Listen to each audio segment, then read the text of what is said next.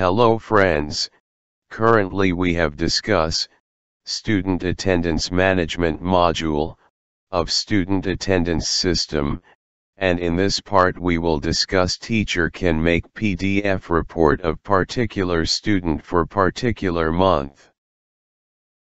In previous part, we have seen how to load overall student attendance data of particular teacher in his or her login area, in jQuery data table, and teacher can see overall student attendance percentage. For Make PDF Report, we have already Make Report button for each student in previous part, so we have go to index page. After this here we can see Bootstrap for modal skeleton code, here we have add ID attribute is equal to form modal. In modal title class, we have write make report, this text will be display on header of modal. Under modal body class, we have create one division tag with class is equal to input date range, this is for date range date picker. Under this class, we have write input type is equal to text, name, and ID is equal to from date, and in placeholder is equal to from date with read-only attribute. For display from date validation, here we have write span tag ID is equal to, error from date.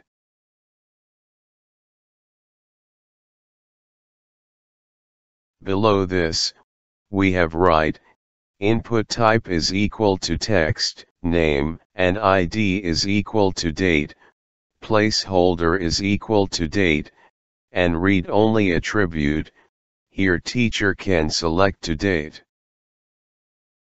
Same way for display to date validation error, here we have create span tag with ID is equal to error to date. Under modal footer class, we have write input type is equal to hidden, name and ID is equal to student ID, under this tag we will student particular student ID. Below this, we have write button type is equal to button, name and ID is equal to create report, with button text create report. Now we have moved to write jQuery code, so here we have write dollar $with division tag ID input date range with date picker method, it initialize date range picker under this tag text box. Under this method, we have write first option today button set to link, that means from date must be less than to date. In second option, we have write format option, and here we have define date format, and after this we have write auto close option set to true. Now we have write, dollar with document selector, with on method, and under this we have right click, with button class report button, so when we have click on report button, this block of code will execute. Under this block, we have write student ID variable is equal to, dollar $this with attribute method, with ID, it will fetch value from ID attribute and store under student ID variable. After this, we have write dollar, with hidden field ID student ID, with value method, and under this we have write student ID variable, it will assign value this hidden field. Lastly for pop-up modal, so we have write dollar with modal ID form modal with modal method, and under this we have write show, it will pop up form modal on web page. After this, we have write dollar with modal button ID create report, with click event, so when we have click on create report button, then this block of code will execute. Under this first we have write, student ID variable is equal to, dollar with hidden field ID student ID with value method. After this, we have write from date variable is equal to, dollar with text box ID from date with value method. Below this, we have write to date variable is equal to, dollar with text box ID to date with value method, so here from date and to date text box details store under this variable. After this we have define error variable is equal to 0. Now we have write, if statement and under condition we have write, from date variable value is equal to blank, if this condition true, then it will execute if block of code. Under this block, we have write, dollar with span tag ID error from date, with text method, and under this we have write from date is required, an error variable value increment by 1. But suppose above condition false, then it will execute else block of code, and under this we have write dollar with span tag ID error from date with text method, with blank value, it will remove previous validation error. Same for to date text box, here we have write if statement, and under condition, we have write to date variable value is equal to blank, if this condition true, then it will execute if block of code. Under this block, we have write dollar, with span tag ID error to date, with text method, and under this we have write, to date is required, an error variable value increment by 1. But suppose above condition false, then it will execute else block of code, and under this we have write dollar with span tag ID error to date, with text method with blank value, it will clear previous validation error. Now we have write, if statement and under condition we have write, error variable value is equal to 0, if this condition true, then it will execute if block of code.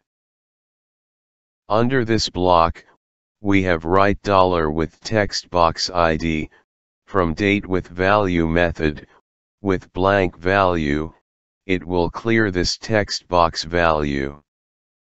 Below this, we have write, dollar with text box ID to date, with value method, and under this we have write blank value, it will clear this text box value. For hide modal, here we have write dollar with modal ID, form modal with modal method, and under this we have write hide, it will hide modal from web page. Lastly, we have write window.open method, and under this we have write, report.php, question mark action is equal to student report, and student ID is equal to, student ID variable, and form date is equal to from date variable. And to date is equal to date variable, so here we have send data to report file in get method. So it will open this report.php, with attendance data in PDF report. Here in report.php file, we have write if statement, and under condition we have right dollar get action variable value is equal to student report. If this condition true then it will execute if block of code.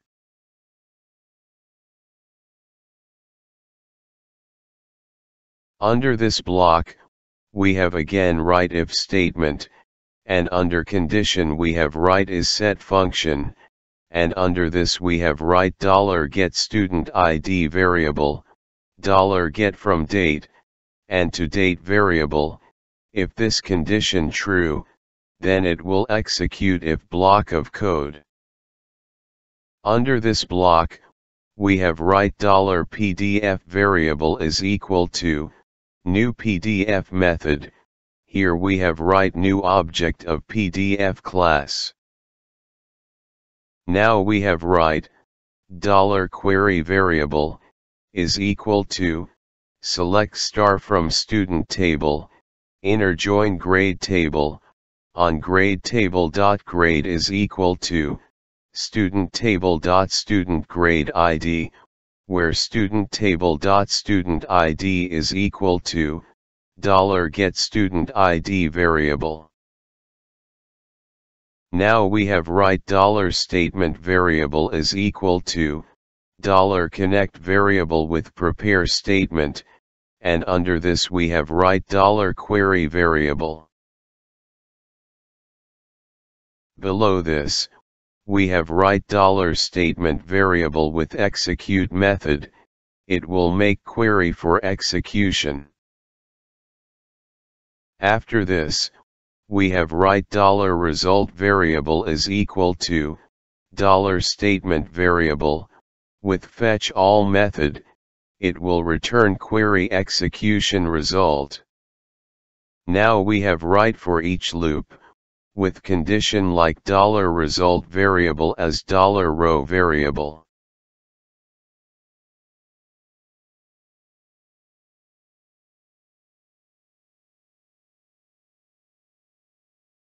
Under this loop, we have write dollar output variable, and under this we have append HTML code like, table, and in first row column we want to display student name, so here we have write dollar row student name variable.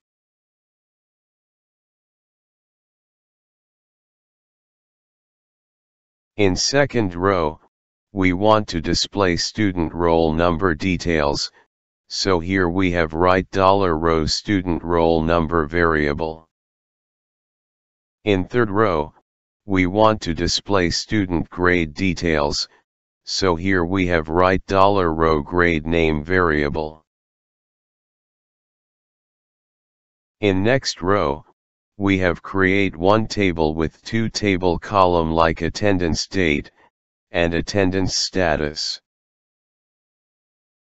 For fill this table with attendance record, here we have write dollar subquery variable is equal to, select star from attendance table where, student ID is equal to, dollar get student ID variable. After this, we have write and attendance date between, get from date variable and get to date variable, order by attendance date in ascending order.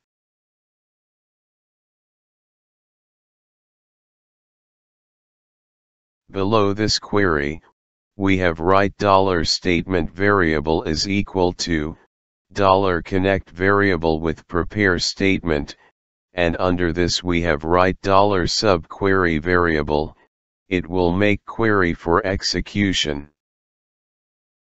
Same way for execute query, we have write dollar statement variable with execute method, it will execute query. After query execution, we have write dollar sub result variable is equal to dollar statement variable with fetch all method, it will return query execution result. For fetch data from $sub result variable, here we have write for each loop and under condition, we have write $sub result variable as $sub row variable. Under this loop, we have write $output variable, and under this variable we have append HTML code like, open and close table row tag, and between this we have create two table data tag. In first column, we want to display attendance date detail, so here we have write dollar sub row attendance date variable. Same way in second column, we want to display attendance status detail, so here we have write dollar sub row attendance status variable. So, this way we have store report detail in dollar output variable in HTML format. Below this here we have write dollar file name variable is equal to attendance report.pdf. Here we have create PDF file name.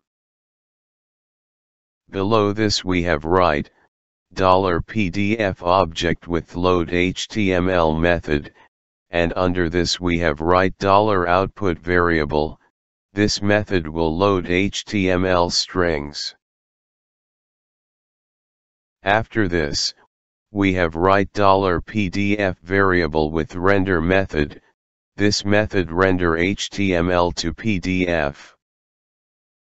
Now we have write $PDF object with stream method, with two argument like $file name variable, and attachment option set to false, it will open PDF report in browser. Lastly from exit from code, here we have write exit function 0, now here our code is ready, now we have check output in browser. Friends, here we have login into teacher account, here on index page we can see, student overall attendance details, in percentage, here we can also seen report button also. Now we have click on report button, after click on report button modal has pop up on web page, first we want to check validation working or not, so we have directly click on create button. After click on report button, under modal we can see validation error, so here validation working properly, now we have select from date, and to date and click on create report button. After click on create report button, report has been open in new tab, and here we can see particular student attendance data of particular date range. Here teacher can make particular student attendance, report for particular month also, so this is basic feature of the student attendance management module. In next part we will discuss the same feature for admin user, but admin user can view all student attendance data. If you have any query or input regarding this video tutorial, Please comment your query or input in comment box, or if you like this video tutorial please share with your friends, or even you can also share on social media also. If you want to get more update regarding our video tutorial, please subscribe our YouTube channel for get more update regarding release of future video. Lastly keep watching our YouTube channel. Thanks for watching this video tutorial.